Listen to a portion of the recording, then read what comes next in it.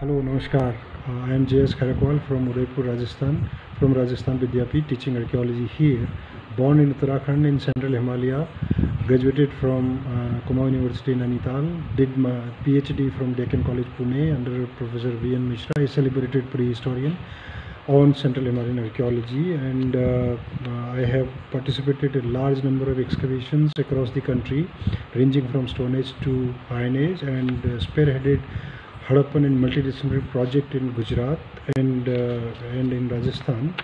Uh, I'm going to talk on ancient metals. Uh, would like would be focusing primarily on zinc, but then uh, ever since metal came to the hands, immediately the growth of civilization happened, and within 3000 years, cities came to existence. Actually, the earliest metal came to hands in South Asia was about 6500 BC or about 8000 uh, years before present. And the first metal uh, man discovered in South Asia uh, for its use was copper, and gradually uh, gold was discovered. Uh, gold, lead, tin, arsenic, these metals were discovered, and uh, even alloying started. Actually, uh, till the Hadappans uh, urbanization, we do not see alloying confirmed pattern of alloying, but as soon as the urban phase started, the uh, mighty Hadappans started their urbanization.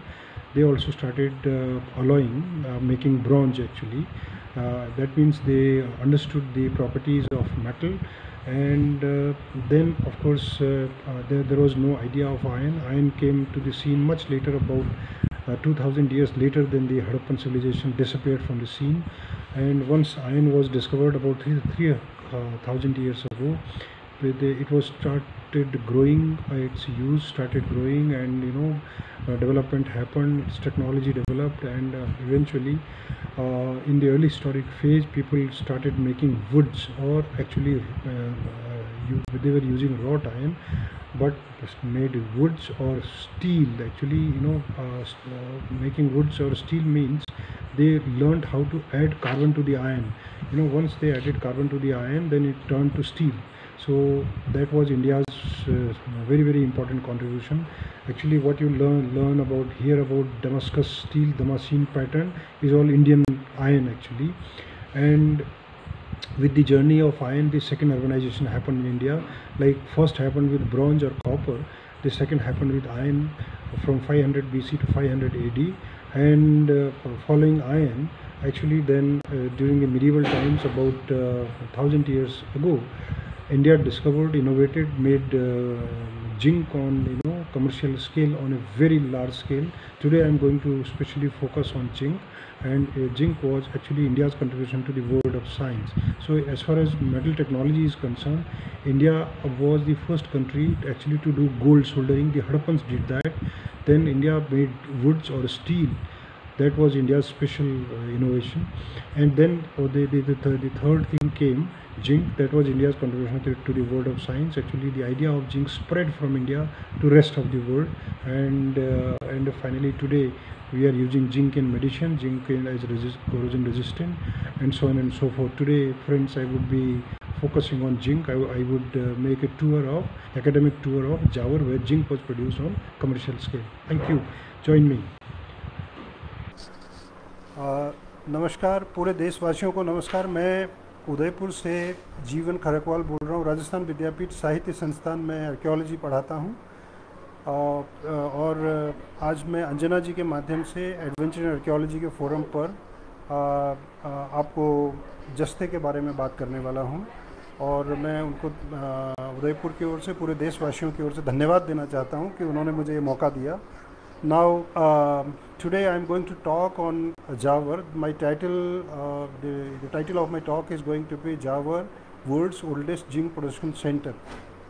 Uh, well, uh, uh, before going to Jawar, let me just briefly tell you, you know, uh, when this ancient metal making happened, uh, you might have heard about the Hadappans, but prior to the urban situation of the Hadappans, urbanization of the Hadappans, cities of the Hadappans, you know, a couple of years of thousands of uh, years ago, somewhere around 6,500 years BC or about 8 8,500 years ago, you know, first time metal appeared in South Asia and the Hadappans then of course you know then is gradually it, became common.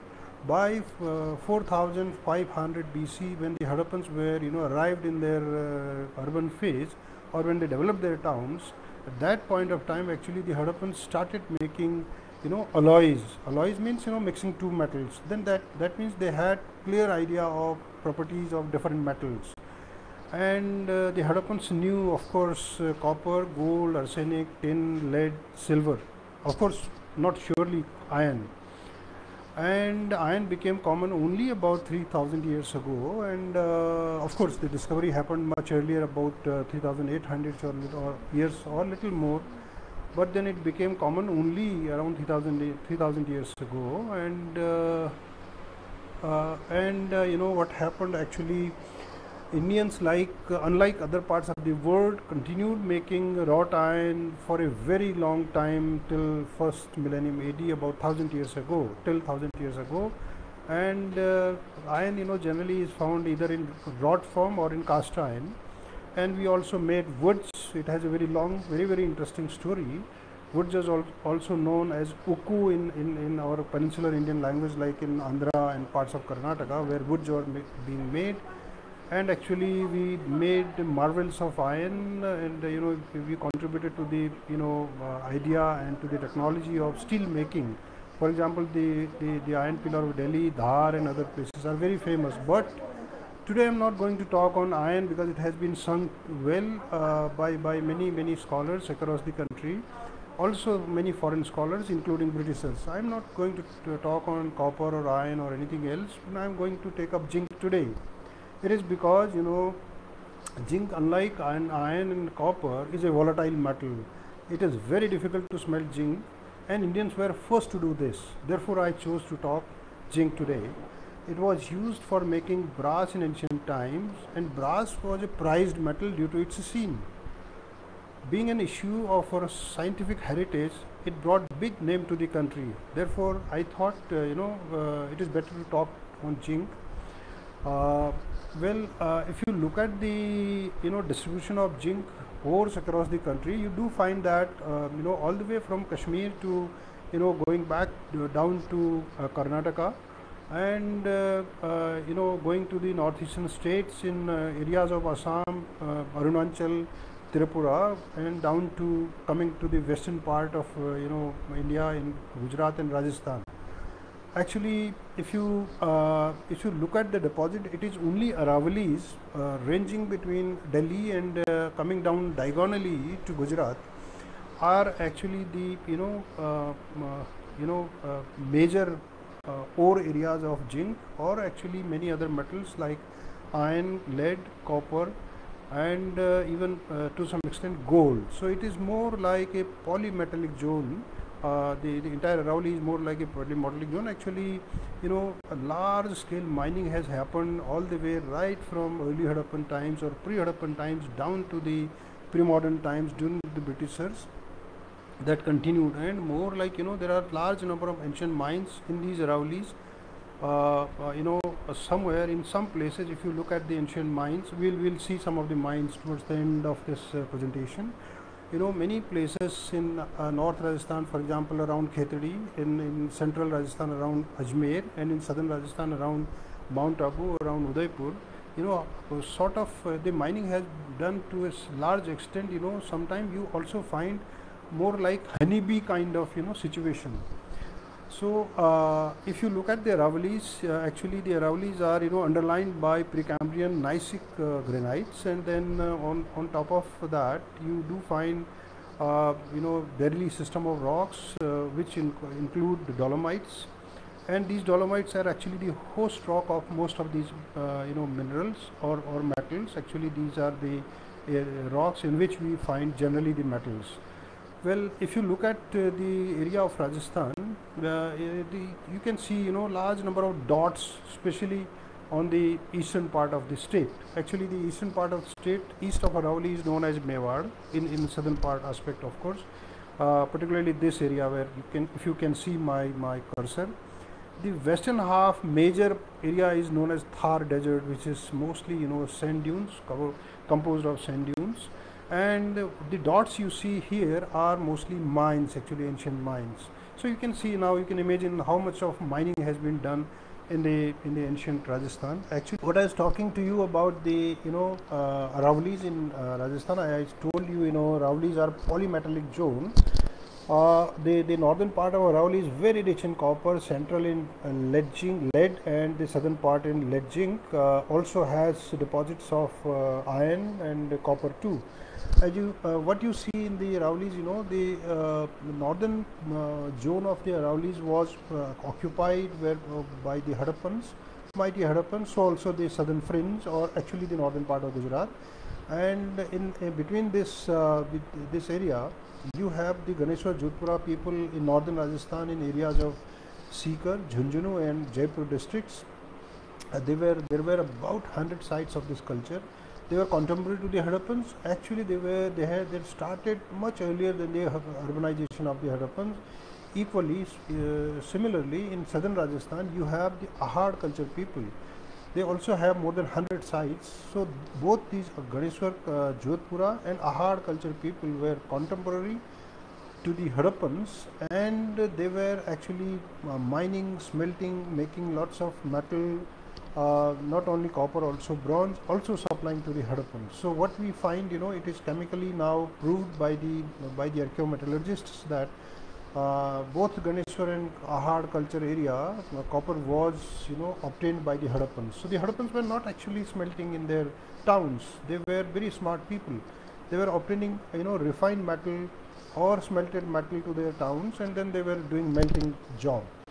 So in totality what am I saying is that you know uh, the people in the Aravallis have very long experience of metallurgy uh, at least for last 5000 years they were doing this kind of metallurgy. Now let me bring you uh, down to the area of Jawar. This is located you know very close to Udaipur town. Udaipur is in southern uh, part of Rajasthan.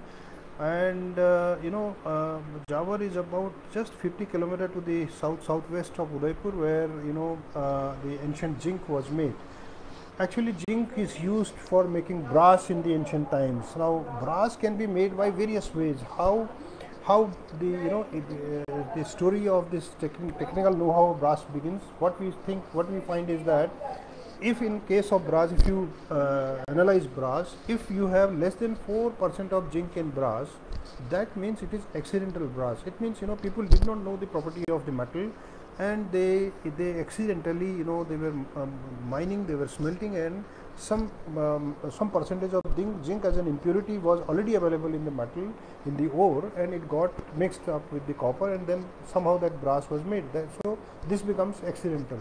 But in case of intentional one if it is intentional then the percentage has to be more than 4 percent. If it is 4 more than 4 percent in that case it is intentional it is intentional uh, you know mining of uh, zinc. Uh, it is if if it is more than 10 you know it varies generally between 10 to 20 percent then it is called then it is called actually deliberate brass. So this deliberate brass is prepared by cementation process and uh, in in this case generally more less than 28 percent zinc is found in in, in uh, brass but if it is more than 33 percent then it is something very important because you know 30 more than 33 percent zinc occurs in brass only when you uh, you mix metallic zinc with brass uh, copper. So uh, uh this happened this 33 percent happened first time third is somewhere around 3rd century BC or about 2300 years ago at Takshila. The earliest example is coming from Takshila now in northern Pakistan. So actually this is very important. We'll talk about this later. But then zinc was a zinc this brass became a prized metal due to its sheen and uh, uh, you know if you compare the history of uh, you know brass so uh, it is uh, you know compared to iron and uh, you know copper it is too late. But if you compare the history of zinc with these metals so zinc is very late you know the earliest evidence of experimental stage of brass comes from some of the sites in India called Hastinapur uh, and uh, Lothal, Lothal in Gujarat, Hastinapur is in Meerut and there are some other sites also in where you have the early evidence of brass. So uh, uh, I'm why, I'm talking about uh, brass, uh, you know, initially uh, uh, instead of zinc first, because zinc in ancient time was primarily used for making brass. So let us, you know, if we understand the history of brass, then we obviously understand the history of zinc. And uh, uh, the the goal is the idea is the aim is to understand when actually people started making identifying pure zinc, making metallic zinc. So early evidence comes from, as I said, Hastinapur. Ataranji Kheda is near Bareilly, about 3,200 years ago or 1200 years BP, BC. Then there is Lothal, Gujarat. Then the Takshila, I, I said. Then uh, then from Nalanda, Timargarh graves.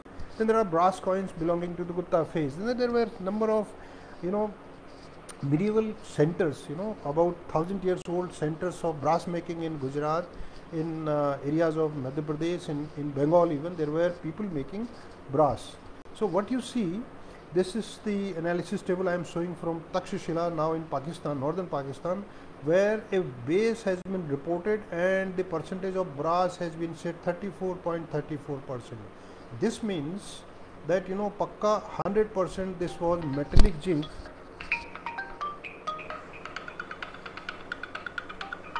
Hello, sorry, there is some call. There, I have to. Sorry, I'm in a meeting. Uh, so what happened? Actually, this 34.34 percent of zinc, uh, actually appearance of zinc in brass clearly suggests that that it was metallic zinc which was uh, mixed with uh, copper to make brass. So uh, this technical know-how is very important, and this important. let me also let me also make it very clear that this object of bra- brass or vase came from the uh, the village that was there before the Romans arrived, before uh, Alexander arrived in Takshila. They, this comes from that deposit. There is another evidence of that of the same phase coming from Sinwar in Middle Ganga Valley, where bangles of brass has been discovered, and the the um, percentage of zinc is 35.52. So this is also very important. It has to be metallic zinc mixed with copper, making brass. So uh, you know uh, now generally you might find you know in our houses our doors handles these are generally made of brass. And uh, you this is a brass cannon which i am showing you from uh, udaipur. It is placed in the in front of udaipur bus stand. And uh, i have not seen any uh, brass cannon anywhere in north india except for this. Well there are some other you know brass utensils. Just to make you uh, understand you know how brass looks like you know it doesn't get corroded and uh, therefore it was a prize metal. The early references textual references of brass go back to the you know materia medica. You know you have from charak samhita siddhisthanam chapter 3rd you have uh, you know utensils. It's, it, it says explains that utensils were made of gold silver copper brass. So it saying brass means you know brass the people knew the property of that metal. Bronze and iron so more references from charak samhita about you know it, uh, it it is also talking about some kind of different metal. Perhaps it was zinc. So shukla has you know has uh, actually translated this text Saviranjan Tutham Tapyo Dhatur Manasila Chakshusya Loha Manayha Pospanjanam. This term Pospanjanam has been you know uh, interpreted by by Shukla and Tripathi like this. Bhasma powder of metal सौविरंजना perhaps made of lead sulphide तुथम pure तुतिया gold pure मानसिल वंकुथली मुलेट iron and पुष्पांजना are mild in taste and good for curing eyes the word पुष्पांजना of the text has been interpreted as white सूदमा और flower of जस्ता और रसका और खरपरा zinc so this is going to be the first textual evidence in Indian Materia Medica, Charak Samhita, perhaps explaining about zinc. More, more textual references like Arthashastra Kautilya talks about uh, Arkut, early Ayurvedic text. Rashratnakara of Nagarjuna, which is believed to be 1400 years old. Then there is Rasnava Rasvarnam, about 800 years old. There is then this famous, you know, uh, alchemical text called uh, Ras Ratna Samuchaya, which is about 700 years old. Something about in in 13 uh, 1300 AD that was written. and then there are number of foreign for example chinese persian british and greek texts which also talk about brass. There are number of early uh, uh, you know texts early terms for brass and zinc. For example in indian text you brass is term, termed as arkut riti ritika pital birinj rotupia and zinc has been termed as posmanjan staupadan rasak. Uh, it is called it has several types. For example mritika rasak gud rasak and pasan rasak. And zinc has also has been termed as kharpar jasada or yasad. Yasad is a very late term. Which came into uh, existence somewhere around 14th century. So is pital. Pital also is a very late term not early term uh, more more more terms for you know uh, you know in for example greek brass is called tumbak pinchbeck uh, princess metal orichalcos, Latin orichalcum cadmia.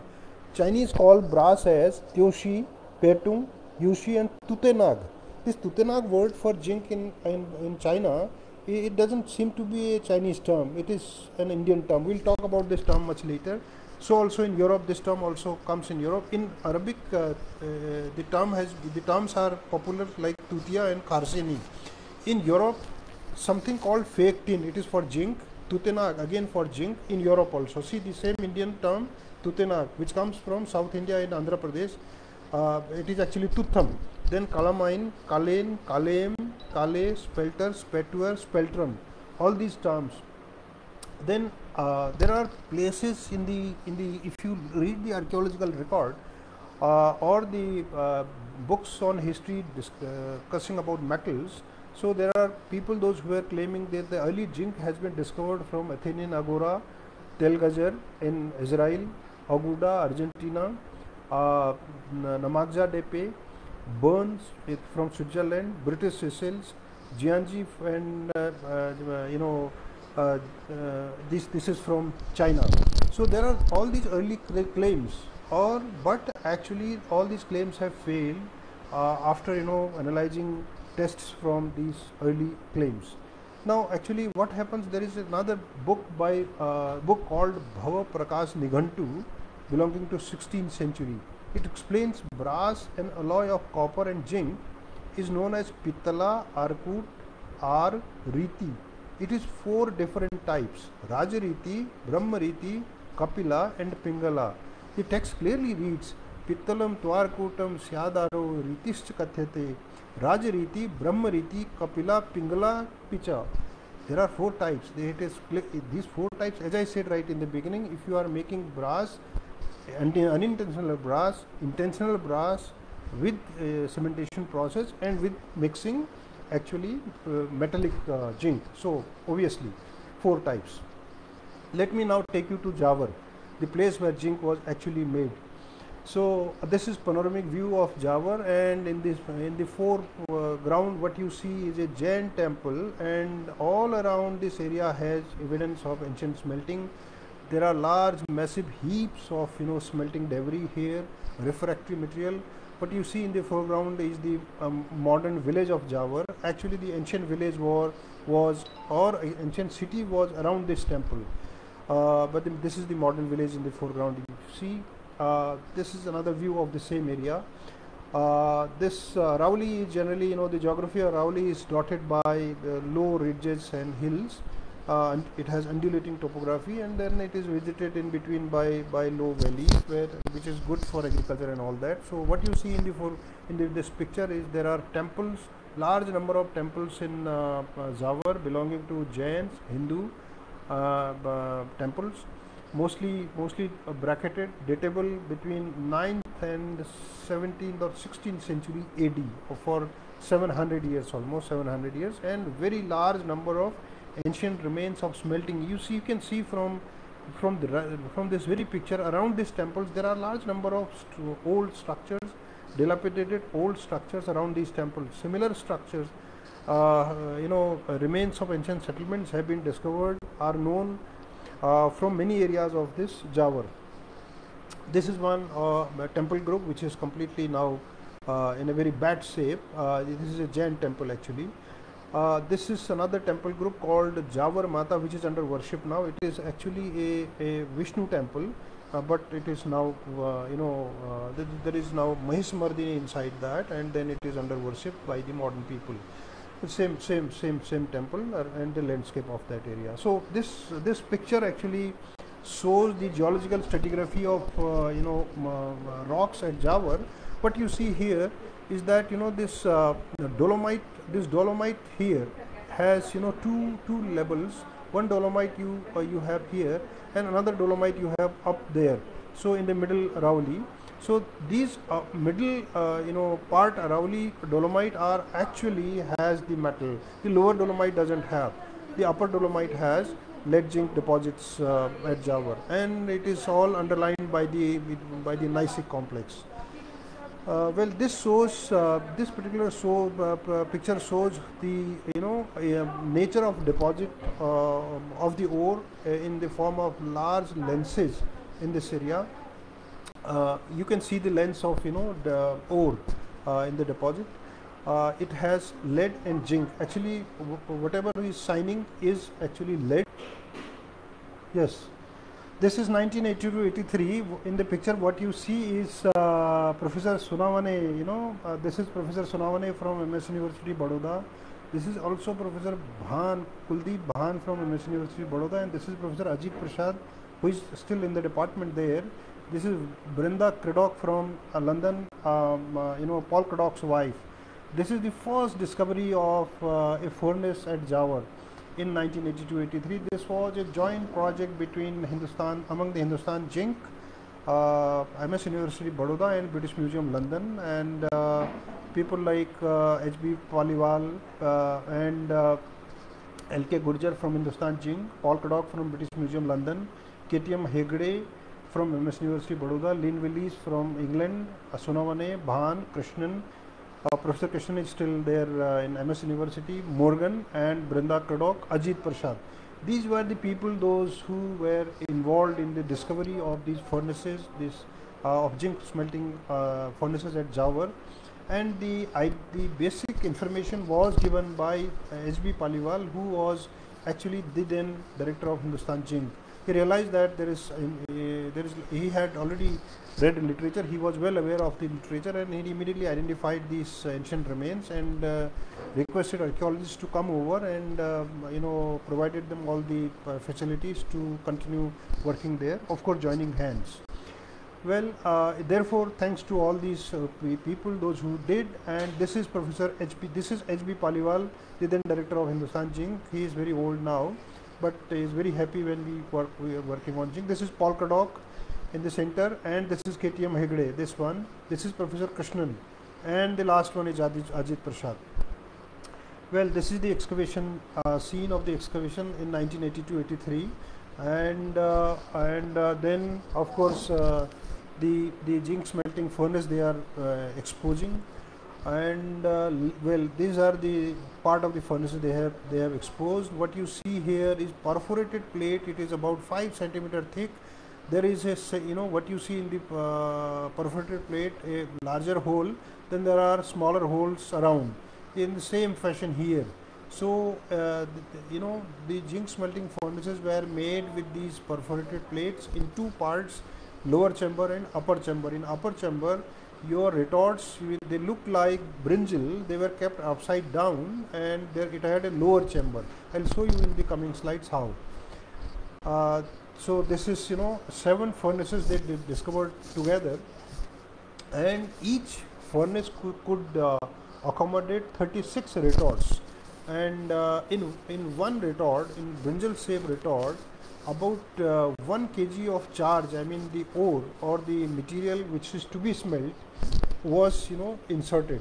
So I'll, I'll, I'll explain this further but you just see how this happened you know all this mining was done around this place in Jawar and uh, after mining after mining the ore they actually you know had to to break down to uh, you know grind the mat the ore and separate the impurities.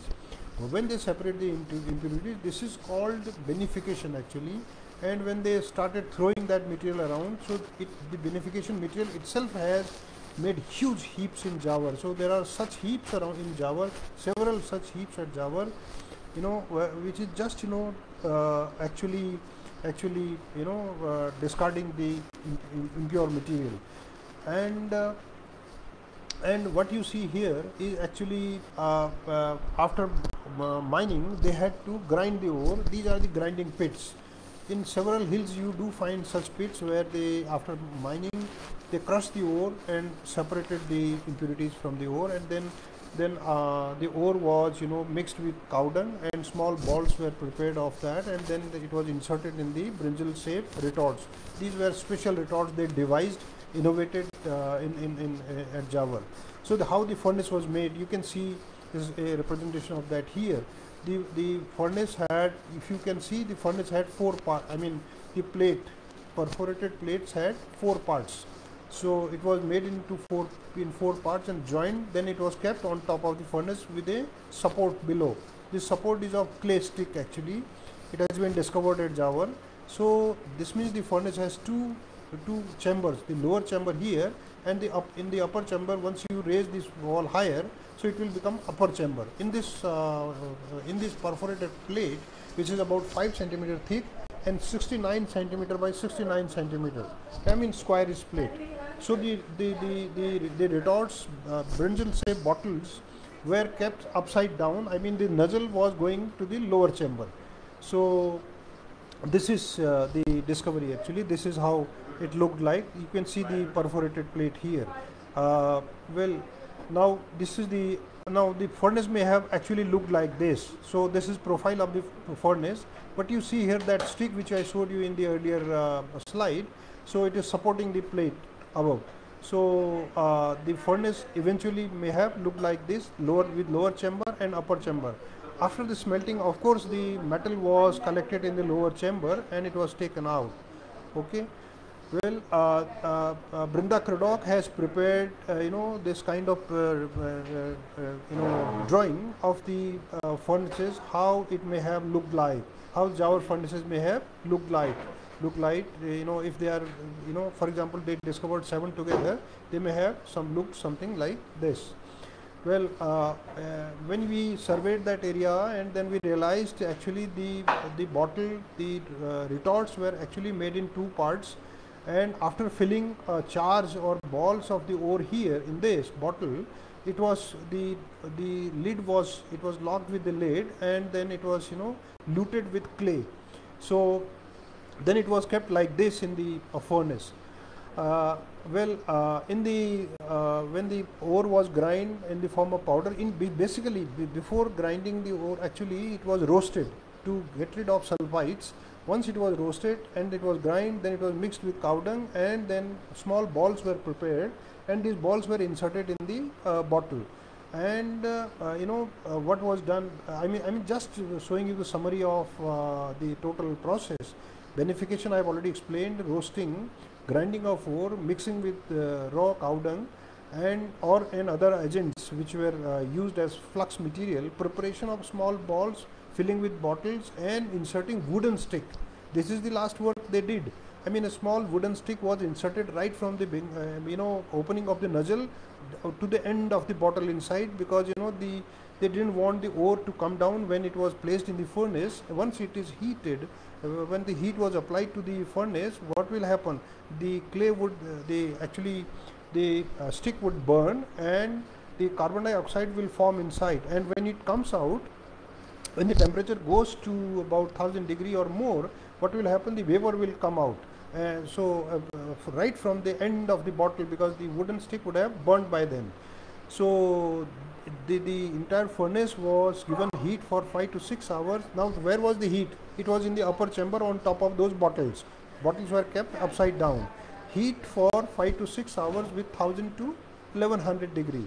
And uh, uh, you know if you do not have this temperature constantly for 5 to 6 hours so your vapor will not form. What is in- interesting and important is this that you know zinc uh, actually smelts just at 415 degree uh, you know it has very low uh, smelting temperature. But if you want to obtain uh, uh, you know vapor of zinc what happens you have to raise the temperature to about 1000 degree. It melts around 900 uh, degree 915 degree. But then you know if you just give he are heating at 915 it is not going to give you vapor. The vapor is going to come only when you cross 1000 degree temperature and maintain it so uh, uh, to uh, you know it is very very you know problematic situation because if you are heating say for heating copper and lead they are uh, you know then in, in that case the metal is going to be in semi solid form. It will get separated from the slag uh, in, in the furnace. It, it might come out or it might remain inside or slag might come out so but in case of uh, zinc when you heat it, it, you know if you are not able to, uh, to, to to reduce it it will get lost. So that therefore being a volatile metal it was very difficult to handle it very difficult to make pure zinc or metallic zinc. So making metallic zinc was very very difficult that people did at Jawar. So what they did mixing of reducing agents they you know uh, the ancient text many ancient texts written between 10th and 14th century initially alchemical then iatrochemical texts explain that a number of items like borax ghee treacle salt nosadar things like earthworm wool turmeric cherry plum cashew nuts cow dung etc these were mixed as, as agents to the ore. These are basically you know people were making uh, zinc you know for a very long time in India say from 6th century AD when Ratnakar was written it clearly explains how zinc was made and then they you know this kind of zinc was purely was being made for making um, you know using zinc for medicinal purpose actually making bhasmas ayurvedic bhasmas. So therefore people already had devised this and they were this this is explained very well in the text. So this kind of agents were explained for making laboratory scale. Let's not take it for let's not take these these agents these flux material for making uh, you know industrial scale of Jawar what I am going to show you. Uh, now how they made retorts, making retorts also the alchemical text like Rasratna Samuchaya clearly reveals that prepare a brinjal say musa, you know retort of clay with you know gives uh, also dimension 12 angula finger long tube fixed over it like an inverted dhatura uh, flower make a hole at the at the height of 8 angula in the tube this is used for extraction of stove that is actually zinc, metallic content or in the form of vapor actually from the soft drug like kharpara or zinc ore. This is uh, also published in Indian Journal of History of Science in 1991 volume 26. Now the bottles look like that, the retorts look like that and what you see here this one, this is nozzle like of course this was this was part of it here. Uh, well, uh, this uh, just shows the impurity after analysis, what remains inside. This was done by IIT Kanpur, also by British Museum London people. They cut the uh, you know retort across and did experiments. Well, the Jawar furnaces may have looked like this. This is again Brinda Craddock's drawing uh, how the uh, uh, you know uh, furnaces may have looked like. let me tell you that you know when people were smelting at Jawar and the heat was given for 5 to 6 hours to maintain the temperature to 1000 to 1100 degrees centigrade people might need you know certain kind of air maybe blowing so they might be noticing they might have noticed for a very long time that when the air is blowing at a certain period of time in the months maybe then only uh, of the year then only they may be doing that because in every season they might not be doing that because blowing constant air for 5 to 6 hour itself is a problem. Maintaining temperature itself is a problem. Uh, so uh, the process uh, entire process of smelting has also been explained in Rasratna Samuchaya uh, uh, it reads you know when the flame issuing from the molten calamine changes from blue to white the crucible is caught hold of by means of pair of tongs and its mouth held downwards. That means you know when the the this the flame is turning from blue to white that means you have to understand that the smelting process is over. Now the vapor is coming. It must be condensed to obtain the metal. You know if you can't you know uh, condense the vapor the metal would go. It will get oxidized uh, in our ancient text, uh, like uh, Samuchaya and other, you know, Ayurvedic, uh, you know, alchemical text also find these downward distillation, uh, you know, uh, furnaces have been explained. This is uh, coming from text only. Well, now for heating, now if you look at this 4 to 6 hours I explained, you know, this melting produced 20 to 36 kg of zinc. How? Actually, in one bottle, about 1 kg of charge was filled and out of uh, 1 kg, 400 grams of zinc was obtained from one bottle. In one, uh, in one sort, now in the heating as i was explaining to you you know it was to be done to 4 to 6 hours and uh, there were three different kinds of retorts they were using in the medium uh, size there were smaller medium and large retorts in the smaller ones actually about 1 kg of retorts was to be uh, 1 kg of charge was to be filled in and out of 1 kg uh, charge about 400 grams of zinc could be obtained from one small uh, medium sized retort. So in one sort from one furnace 20 to 36 kg of zinc could be could be obtained. So uh, actually uh, what uh, what they did was at Zawar you know as you saw it, uh, the furnace had two chambers upper and lower. The upper chamber had fire the lower chamber did not. So uh, we have this distillation idea in India right from the you know third fourth century BC or even earlier. People have been making uh, distillation using distillation technique for making desi liquor. And also also people were making you know uh, in, in, in, in, in materia medica if you go back to charak and Shushruta, they were making large number of medicines using distillation process. That distillation process was something like this what i'm showing you here has been explained in the ancient text also different kinds of you know these these pipes you know and reaching this vapor it is being heated and heat given heat and then this vapor is generating and coming down to the uh, you know area where a pot is kept and the uh, condensation process is happening. So this is uh, uh explained very well in alchemical text. On the left side what you see in the picture is you know this is again the same kind of distillation process that is happening across the country uh, for making liquor.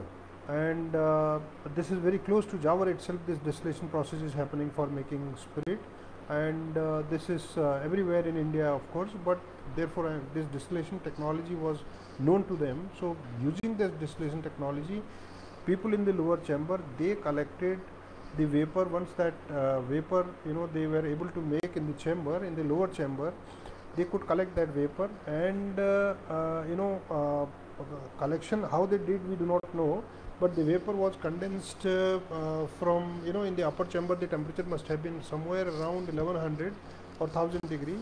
But the moment that vapor traveled to lower chamber so the the temperature had to be brought down to 400 degree or little less than that. Then only the vapor will condense and then in, you know it will come into the powder form turn into powder form and then ultimately the metallic zinc was obtained from these furnaces. Now what you see here is that you know heaps of refractory material or the debris or slag you can say from zinc at, at Zawar. There are large number of such heaps at Zawar you know uh, because the smelting process at Zawar was happening for several centuries right from if you just consider the consistency of radiocarbon dates ranging from 12th century AD to 19th century so in, in these heaps what you can see that epi that episodes of dumping of this refractory material generated by these consistent smelting processes. So uh, what uh, and his team uh, you know in these hills also you, you see these deposits refractory material heaps and uh, similar thing similar thing. Uh, what uh, and his team thinks that in uh, about 600 years from 12th century or 13th century to 18th century about 600 million tons of uh, refractory material is available and about 50,000 tons of zinc must have been made and it was surely exported from Zawar. So uh, what they did people you know after using making zinc from the furnaces these retorts were discarded.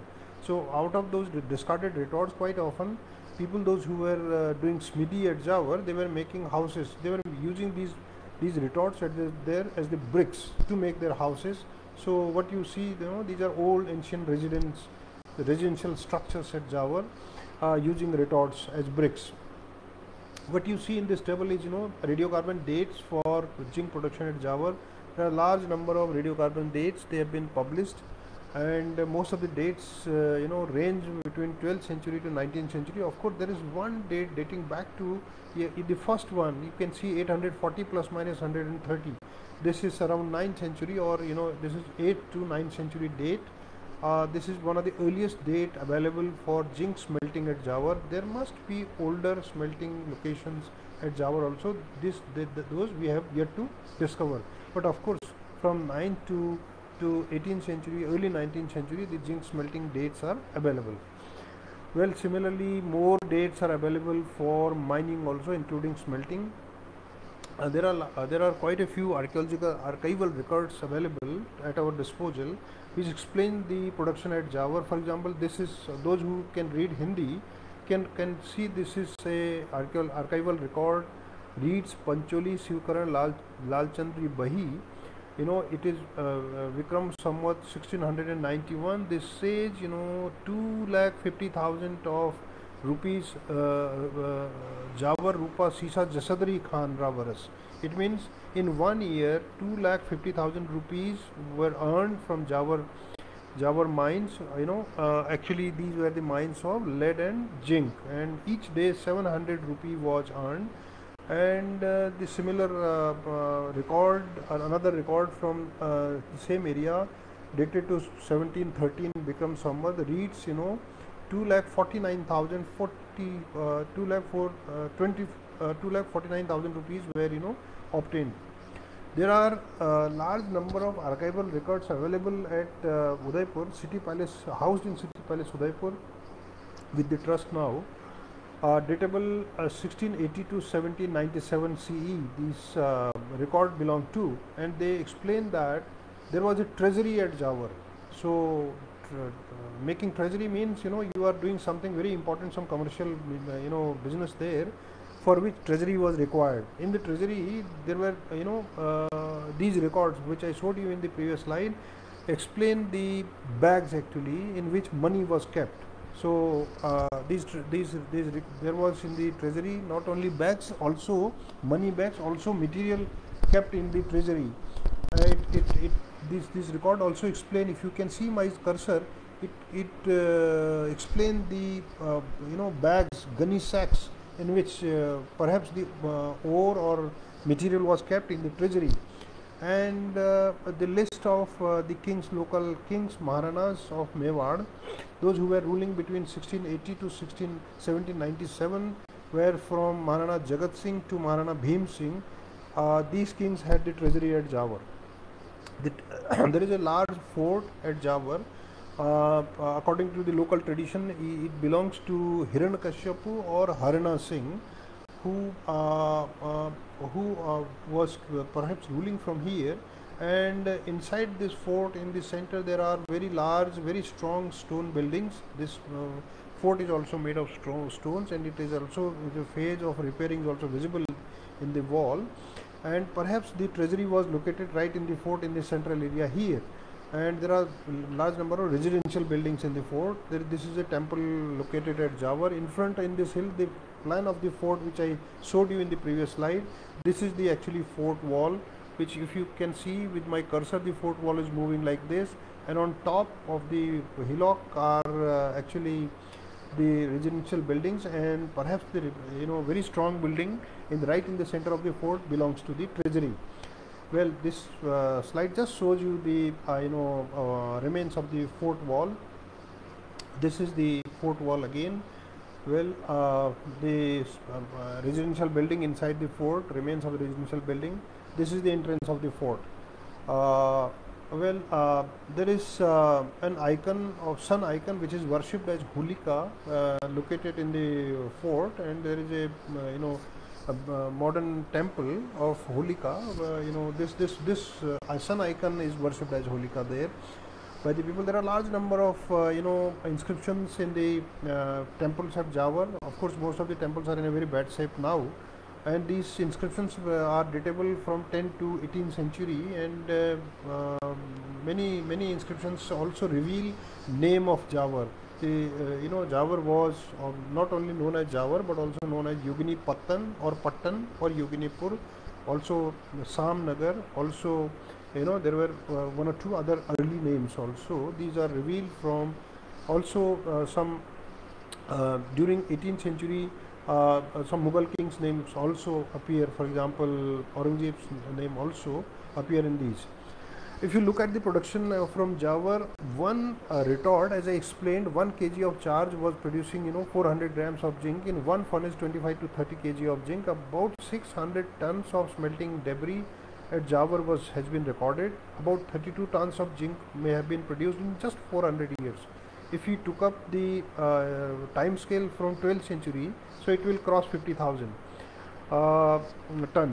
So uh, if we look at the epigraphic information from 14th century, there were business people, Jain traders from Karnat, Karnataka, Madhya Pradesh, Takka, Punjab, Lat, Gujarat were coming to Udaipur perhaps for metal trade, silver and possibly zinc from Jawar. There are also references to uh, uh, Akshapattalika. Akshapattalika were accountants actually. There are large number of references in epigraphic records about Akshapattalika. Why do why such people were needed in in in, in Mewar? Obviously, because of trade must have been happening, so uh, accountants were required. Also, there are you know uh, pothis of bhats or you know records, handwritten records. They are still continuing so uh, there is a pothi of uh, Bhat. Uh, you know, Bhat are the people those who prepare genealogies or history of each community. So uh, there there are Bhat. There is a Bhat of Aditya Brahmins from Jawar, and uh, it explains. You know, the uh, we have translated the text and printed it.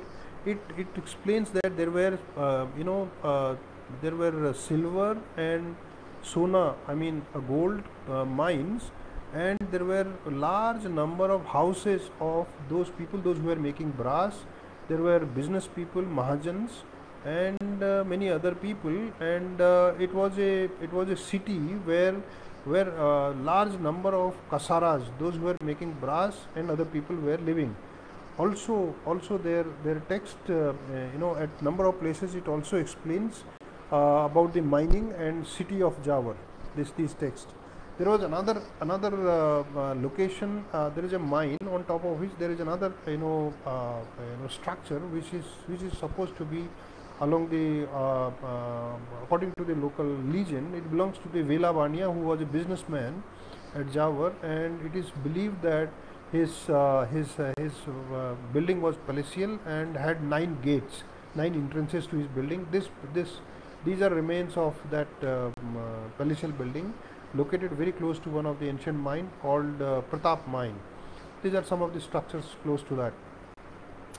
Uh, well, uh, uh there is an inscription from Jawar which explains Jawar as Yogini Pattan. Yogini uh, is uh, actually a tantric name and Pattan is of course a place from where trade was happening. from London office record dated 1509 to 19 uh, refers to the met certain metal that was coming from India and it was actually zinc. And uh, Libavius, an alchemist of Holland, received Indian zinc in 1597 from a friend, which he calls the peculiar kind of Indian tin or Malabar lead. Indian Indians have long been in possession of the method of extracting pure zinc from the ore. At least in uh, in the course of last century, this metal has been brought from thence to Europe. Actually, Europeans did not know, know zinc till 1736. Uh, zinc has been termed as tutenag in many, as I earlier showed you, European and uh, you know Chinese literature. In Europe, uh, mentions that important uh, importation of uh, zinc from India in 1647 in his De Re Minerabilis. Mineribus. Uh, a metal of this kind uh, of this kind under the name of Tutenag is still brought from thence. London in 1731, zinc was sold as, uh, at a price of pound 260 a ton, which was very high, very very high compared uh, looking at that point of time's market. China also there is a, there is a Chinese text called uh, Tiangong Kaiwu. It was uh, written in 1637. Doesn't talk about it talks about a term Tutenag but it clearly mentions that this Tutenag, uh, you know, this this metal was known known to the Chinese, but mentions Tutenag, obviously an Indian word. So that is an indication whether the idea of zinc from from India reached to China that we don't know but then how then this Indian word traveled to China? And it was mentioned in the uh, text uh, Tiangong Kaiwu. Actually it is history of technology.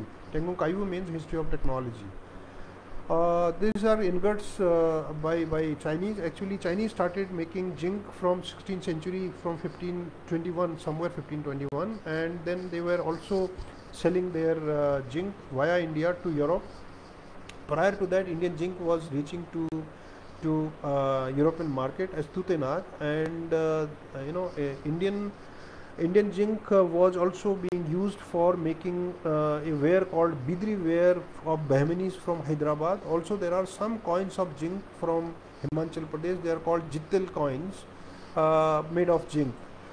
Uh, well, uh, then this trade was work. You know, as you know the, about the Silk Route, this Chinese zinc was coming to India via Bengal and all the way, uh, you know, traveling around the country and Chinese, you know, sold their zinc. They were they, they say sold their zinc after it 17th century.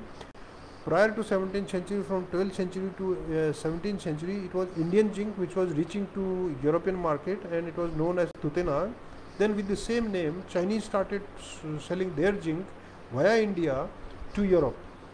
So, just to show you this uh, trade route. Hello, next, hello. I can't move the slide. My god, there is a lot of trouble with this network. Hello? Can't move the slide. Hello.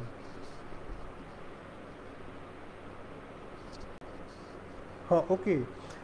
Then, uh, if you uh, after this melting business, let, let us uh, talk about this mine. Let me show you the mining areas where this mining was done. There were you know three major mining areas in this uh, part of uh, called known as Agucha mines, Jawar mines, Dariba mines. So uh, you will be surprised to learn that you know at Agucha, at Agucha mines in very close to Bhilwara, you know people were mining at a depth of 262 meter below surface. It is below water table. Can you imagine that below water table our people were mining and how did how were they managing air how were they managing light and how were they making taking out the metal from such a depth? 262 meter is a, is a very deep very you know uh, uh, below water table actually. Then at Jawar they were mining at a depth of 150 meters. This mining uh, they were doing 2000 years ago during the Mauryan period during the Kushana Gupta period and that continued and at Dariba, which is little away from Udaipur, about 80 kilometers, they were mining at 100 meter below the surface. So, uh, so what was happening actually in these mines? Uh, uh, they were mining. They were mining actually vertically, and they had large number of uh, adits. Uh, uh, there are not the number of adits actually to reach these mines, and they were able to. They were able to actually uh, locate the mines, the ancient deposits, uh, uh, you know, uh, with the surface features. Uh, uh, the, the, these are some of the surface features you can see in these slides, you know, they, wherever there is metal deposit, you always see gossan material on the surface and with the help of this, you can always, you know, you may have idea where the metal deposits are. Now what you see here, this ore deposit at Jawar, there is, this is called Mochia Magara see my cursor. This is called Mochia Magara this is called Baroi. And then this is called Jawar Magara where actually the uh, uh, you know uh, identification of sphalerite was very quite easy because it looks uh, purple uh, you know brown. Uh, you know then then then it, it was easy to separate it from lead. So if you see this is one of the ancient mine known after Pratap many kings like Lakha, Pratap and others they they started new mines at Jawar because Jawar was yielding very large quantity of lead zinc uh, and uh, it must be a very major source of revenue to the to the Mewar kings. This no mine particular mine is known after Pratap and uh, and uh, you know there are number of mines in which you can see such arrangements at the entrance also. Once you go in there are many people can be accommodated. The mine once you go in so the mines move to number of directions means actually uh, there may have, may have been uh, lane, uh, you know, uh, lengths of ores which they followed, and gradually the mines widened to different areas. So this is how per perhaps this is just a you know picture which shows you how the mining operation must have been done. I am showing you more pictures related to this. Just this is to show how the underground lens would be and how people from slope they were they were cutting adits and then you know for air as well as uh, you know uh, bringing the metal out from the mines. This is just to show you how it would have been. They were actually cutting down straight going you know this is for ventilation. And then side by side they were also uh, you know cutting down shafts to make out to to to dig ore and then take out.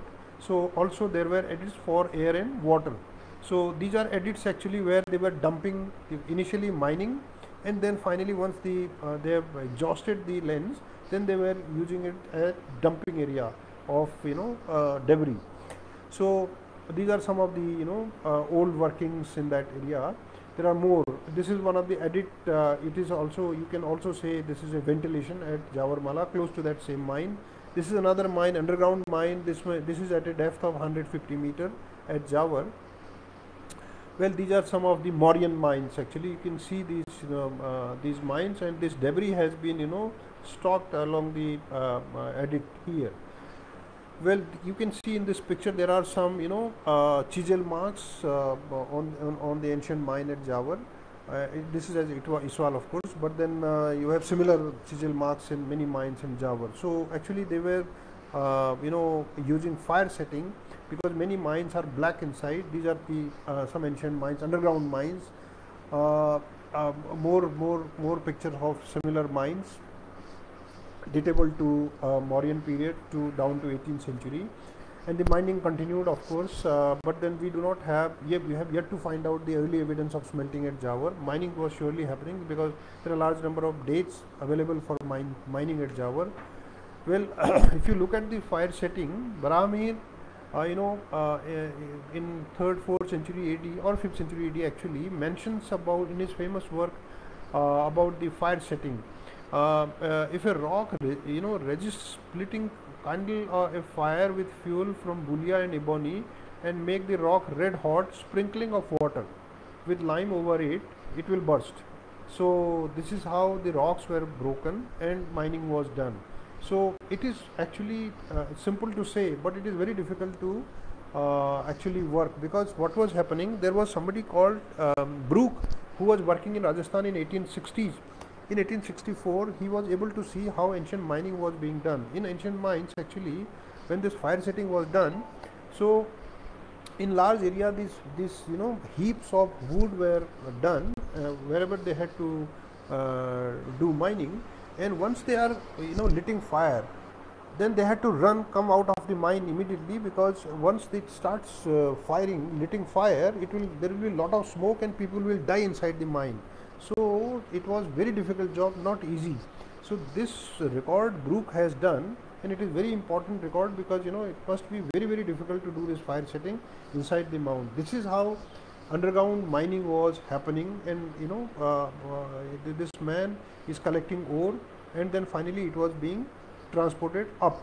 So uh, in the ancient mines of Jawar what you what we what were was what discovered is that you know in uh, wooden ladders also.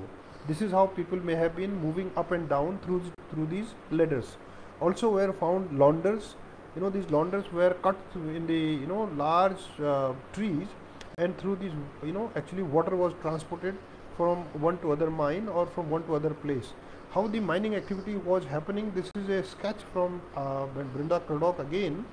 Some people are constantly you know this you know launders are being used to uh, you know move water. And some people are constantly actually taking out this water from the mines. And other people are actually mining and they are taking the ore out so this may be a full busy day in my in mines of Jawar, and uh, some people are bringing wood to do more mine, more firing, fire setting inside the mine. So this is how the and the, these are the sketches of you know actually planning of plan of ancient some of the ancient mines at Jawar that was done by Lynn Willies and Craddock and others in 1983. Uh, some of the tools they discovered from the mines, these are some iron tools they were using inside these mines. And uh, also they discovered this, uh, you know, basket, uh, wooden bamboo basket in the mine. This has been dated uh, back to, you know, 3rd century BC. And also were found this kind of, you know, bulb-shaped jars and bowls. They belong to the Mauryan times. Uh, they were being used inside the mine perhaps for water and lamp as lamp also. Because otherwise you know once you are uh, once you are mining at a depth of 150 meter it will be dark. So uh, there has to be some arrangement of light. So uh, small terracotta bowls may have been used. It is quite likely that the mustard oil may have been used uh, in those bowls. This is uh, actually a Mauryan gallery which was uh, Mauryan mine which was later on during the during the later you know post Gupta phase it was also again worked. It has been dated. Well this is uh, um, uh, at Jawar not only underground mines was done but there are large number of open mines also. This is a very large open mine at Jawar. Uh, in the hills you can see the open mines are in serpentine uh, you know form or in straight or vertically going down also. There are large number of open cast mines also. You can see in these pictures actually this is an open mine here just see my my cursor. And in this also the entire the, the mine goes all along the top of the hill. This is another you know open mine at Jawar. These are all open mines actually. What you see here are all open mines. Uh, yeah this is another open mine at Dariba. Here uh, you know you can see a wooden structure. This this is a very large open mine at Dariba. It was it produced largely lead and uh, you know when they are mining throwing the material from inside what happened you know the material might have been collapsing might be coming down. So to hold that material what they did you know they made this kind of wooden structure. When this wooden structure was dated it came back to it went back to 220 2200 years old. So people were making this kind of wooden structure to hold the debris. So something like this something like this it was done so uh, it was uh, wonderful to see this mining activity in this part of Rajasthan. If you look back the Arthashastra, it was again done at, during the same time by Kautilya and uh, who was a minister of um, uh, you know Mauryan minister. He uh, in his uh, book Arthashastra, he clearly writes that you know mentions that the direct, there was a director of mines uh, besides being able to identify property of different types of ore and organize mining is also expected to conduct examination of medicinal property of matter in the retort uh, uh, as the pres as uh, prescribed locations. So it is very important that you know Arthashastra explains not only this but also but also reads that mines are source of treasury. From treasury power comes to state and the earth whose ornament is treasury acquired by means of army. So this is very important. Akar prabhav kosa, kosa danda prajayate prithvi prithvi kosa dandabhyam prapyapte kosabhushanaha. It is very important. Therefore, the you know if you have if any state has to maintain the treasury, then it has to have uh, mines. Mines will be acquired by land will be acquired by army. So it has very very close relationship. Arthashastra clearly mentions also further says profit earned from mines should again be reinvested in the mines to earn further profit. Yeah, this is something very very important because today now if you look at the modern miners across the country they are just destroying the landscape. They are just destroying our you know ore fields. They are not maintaining the mines. What will happen in that case once we just uh, look for our profit do not maintain the the the you know uh, uh, geography that that will what will happen there will be a disbalance in our biodiversity. And that is going to create problem for us. It will it can also create you know um, earthquakes. So uh, jolts to the land. So that means you know actually the uh, uh, clearly writes clearly mentions that the it, mines must be maintained reinvestment must be done uh, so that you know uh, um, uh, always profits are there. So if you look at the chronology of mining at Jawar during the historic period zinc was produced at a very small scale. Of course they were mining zinc and they were exporting it. Exporting it and maybe at other places it was even you know smelted. And uh, during the medieval time zinc was made at commercial scale. You know we do have evidence of uh, commerce. Some of it i have already shown you then during the post medieval period zinc and some silver was also produced which is also recorded in the local literature so also in uh, Bhatt's Pothis so that was again at commercial scale. If you look at the you know Najawar was a very very popular location for settlement for many people because uh, in the inscriptions also in the records it is it was it was clearly it clearly mentions that you know it was a very large township uh, you know occupied right from 4th century AD or even earlier because mining was there right from Mauryan times. It was known as uh, during 4th century AD during 13th 14th century it was known as Samnagar. Actually Samnagar is known by after uh, Raja Samar Singh King Samar Singh who was a very famous king here who also raised mines. And then during 14th century again some epigraphic record explains Jawar which was uh, uh, you know perhaps derived from uh, jewelry. People those who were making jewelry. So uh, Javeriyas are still there. And then it was also known as Yogini Pattan. Uh, it is mentioned in the in the um, uh, inscriptions. During 17th century onwards it was known as Jawar. This is the you know inscription of King Samar Singh from 14th century who, who, uh, who laid a new mine. Uh, there are some silver coins discovered from uh, you know the filling material uh, of Jawar. There is a dam at Jawar actually. From that filling material of the dam, uh, Gur, uh, L.K. Gurjar, who was a former geologist of Hindustan Zinc, discovered these silver mines. These are foreign silver mines actually belonging to the Mughal kings. They were there simply due to trade.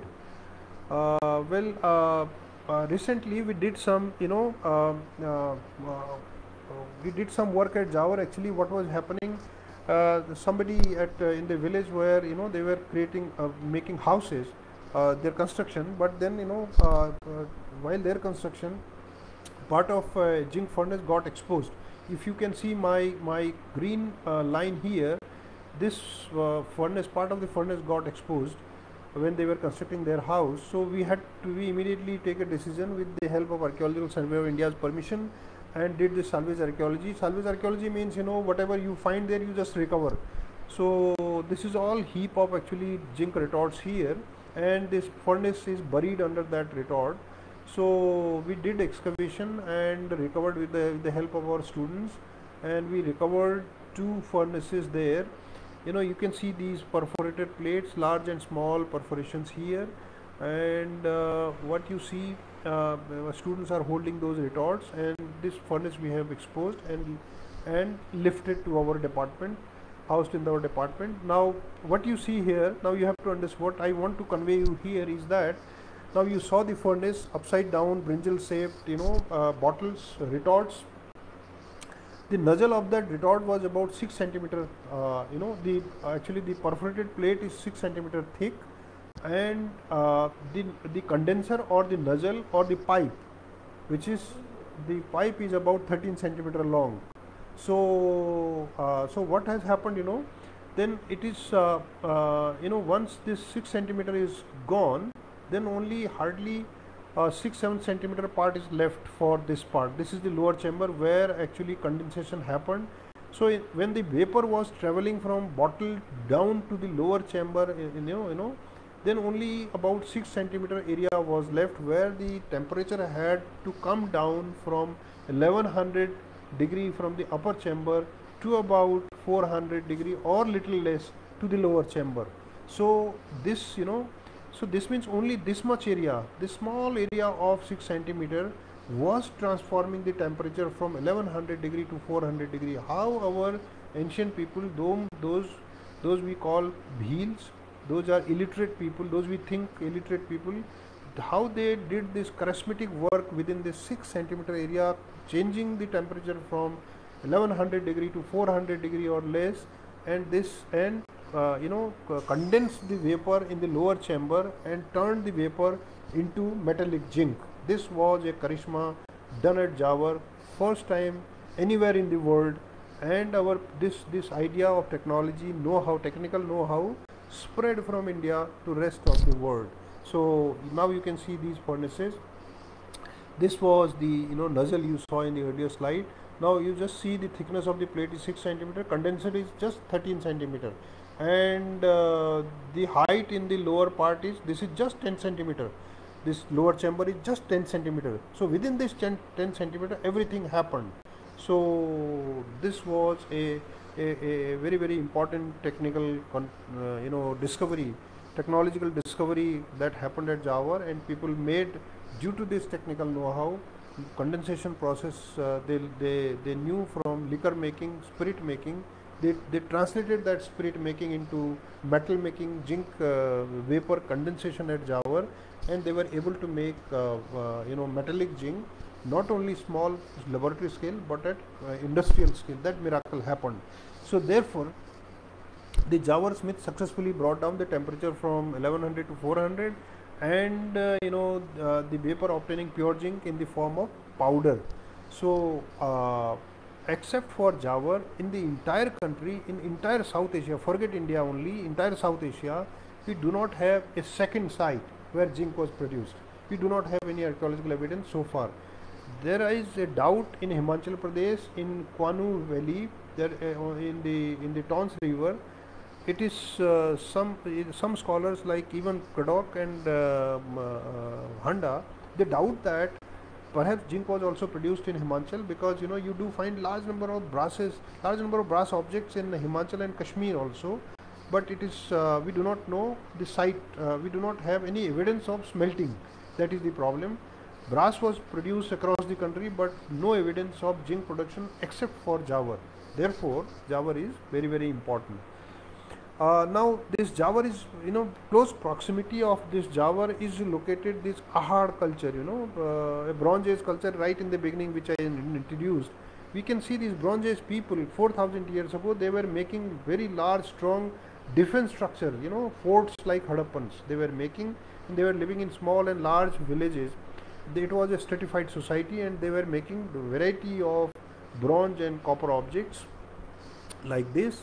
And uh, they had beautiful pottery as good as the Harappans and they were also making seals, stamps, making doing trade also.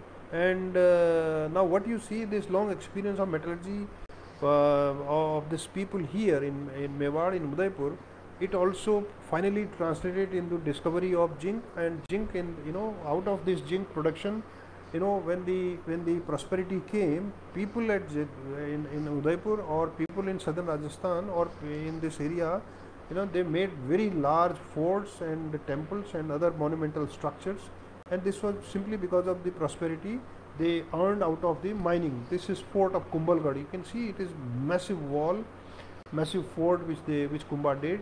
There's such palatial buildings you can see around Udaipur or in, in, in southern Rajasthan. It is simply because of some prosperity that was perhaps uh, had by by by mining and metals. These are some of the you know uh, evidence of uh, Mauryan zinc uh, zinc oxide from Jawar. Uh, more evidence of the same type and uh, this is a very large heap of copper slag from uh, North Rajasthan. It is uh, the area of Singana from where this uh, this heap is located. Similar evidence of smelting has been found across the Aravalis.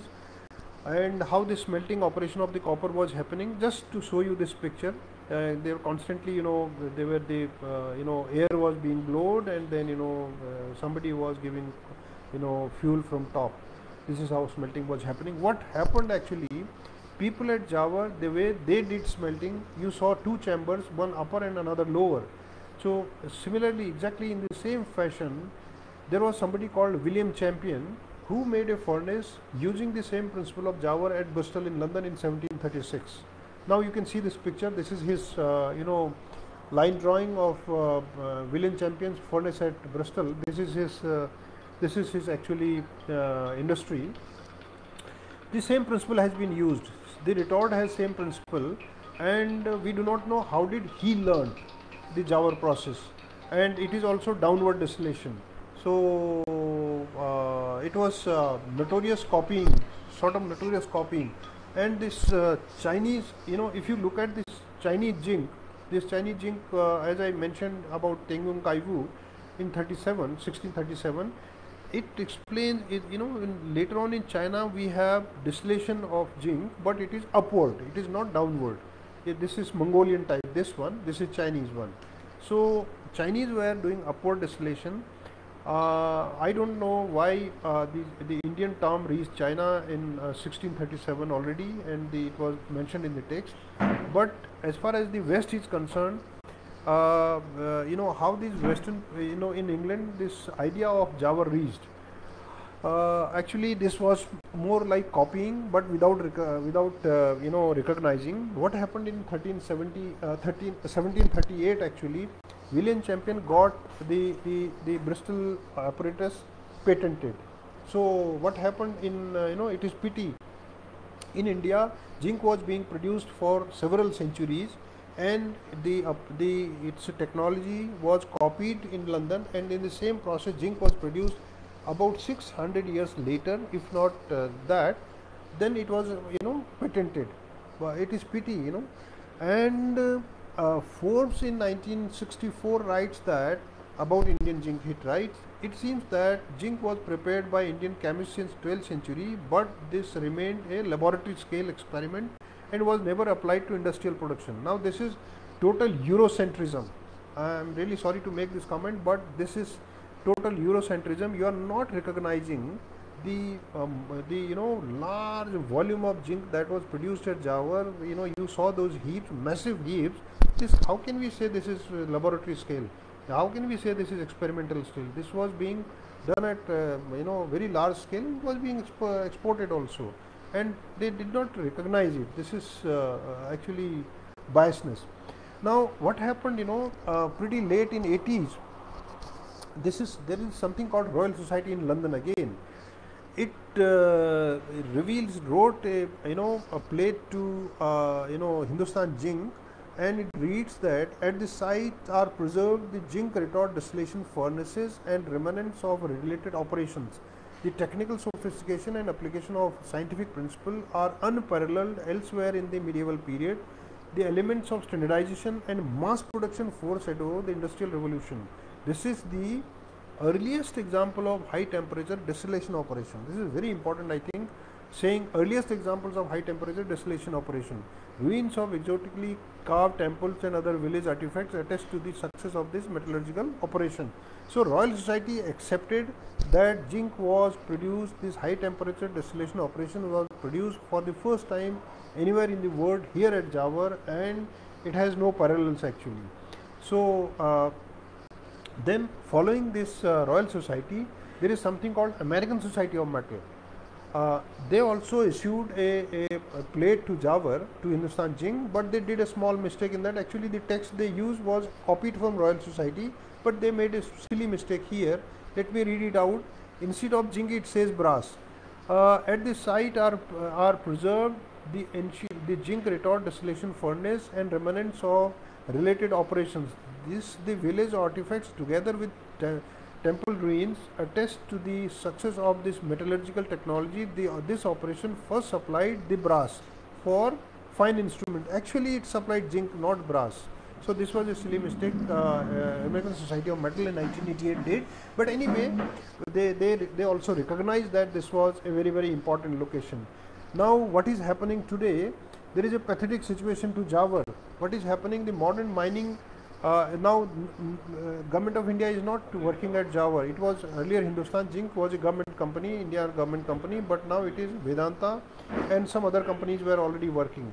So the modern mining is uh, you know it being operated by ancient area, ancient mining area wherever it was ancient mining the same area they are they have blasted they are blasting we are losing ancient mines most of the ancient mines have been blasted uh, by the modern workers uh, massive dumping of refractory material is being destroyed if this is gone this is the only site then how do we show that ancient zinc was melted here or zinc was made here because the the ancient you know uh, debris would go Modern mining has also destroyed large number of surface evidence of smelting and habitation. That also they are destroying. So it is pathetic. To to to to stop this, uh, uh, we raised voice to uh, the, the the Archaeological Survey of India, in an archaeological survey of India, there were successive meetings of eminent archaeologists in 2016-17. We raised this issue and we were assured that Jawar will be protected by Archaeological Survey of India.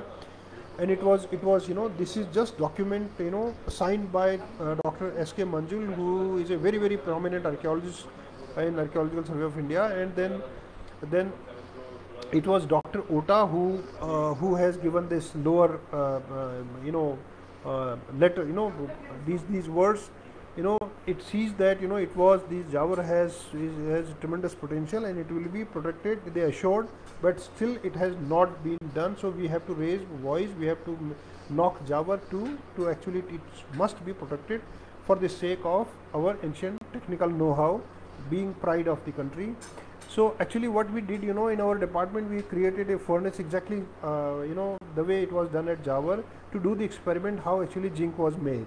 So we prepared plates ourselves brought soil from Jawar. All these are all my department staff people students and staff people. We prepared retorts like this exact following the same measurement and uh, same plate following the same material people had used at Jawar with two chambers of the furnace and uh, did the experimentation. But what happened you know we miserably failed. We did the same experimentation in uh, make for making zinc at IIT Gandhinagar but unfortunately again we failed. We tested the the temperature also. We were able to to raise the temperature about uh, 1000 degree or 1015 1030 degree for some quite some time about uh, 3 hours. But we miserably failed because in one case our fuel got exhausted in another case where fuel was there but we were not able to obtain pure zinc so uh, so there must be some problem some misunderstanding at our level. We are again again planning to to do, do the same experiment to understand the technical difficulties how much technical difficulty was there. Therefore we are doing this experiment again. Thus thus the zinc smelting process of Jawar appears to be the result of long experience of archaeometallurgy, use of metals and medicine, long history of distillation technology, continuity and transition in cultural processes and strong traditional knowledge system in South Asia. All these factors perhaps contributed to the development and underground mining of metals in the first millennium BCE and production of pure zinc on commercial scale at Jawar from 12th century AD if not earlier. Thus, salute to the ancient metallurgists of Jawar who stole the show by innovating distillation technique for pure zinc and made India feel proud forever because zinc was not known anywhere in the world earlier than India. So these are some books, you know, this is by Paul Craddock, this is by me, and India Zinc Technology and this is by our friend Jawar Ka Itihas. All these books uh, uh, are there now and it, it can be brought to the university or school curricula there are many people those who were either um, you know like professor agarwal was mentor for me therefore i picked up the interest in metallurgy and then there was rajiv malhotra because of uh, his financial support we could do a project and then there were Paul Craddock, Gregory Possehl, Toshiki Osada, Harier Paliwal, L.K. Gurjar, Usi Handa, Saida Ansari, S.K. Sharma, Alok Kanungo and many people like Nirmala Kharakwal Arvind Kumar Kulshekhar Byas, K P Singh, Narayan Paliwal Shoaib Qureshi Ramesh Prajapat and many other many our student दो हुए who not only constantly help us but but also provided lot of support literature etcetera to to our work all these years all this entire presentation I would love to dedicate to my mentor professor D P Agrawal who because of whom uh, we picked up metallurgy important you know uh, interest in metallurgy. And professor B.B. Lal who has become 100 years now. So i'd like to he is the senior most archaeologist uh, you know in india just now. And uh, i would like to dedicate this presentation and uh, thank to all the uh, participants my entire countrymen. And also thank to anjana and his, her entire team for giving me this opportunity to, to share. I would uh, appreciate if there are questions and also appreciate if there are university teachers and researchers they should uh, incorporate uh, Jawar in their syllabi so that you know uh, uh, this is this technical uh, device this important discovery must be you know our Indian students must be aware of this contribution to the world of science that Indians did so so we we always have feel proud to be uh, Indians. Thank you very much.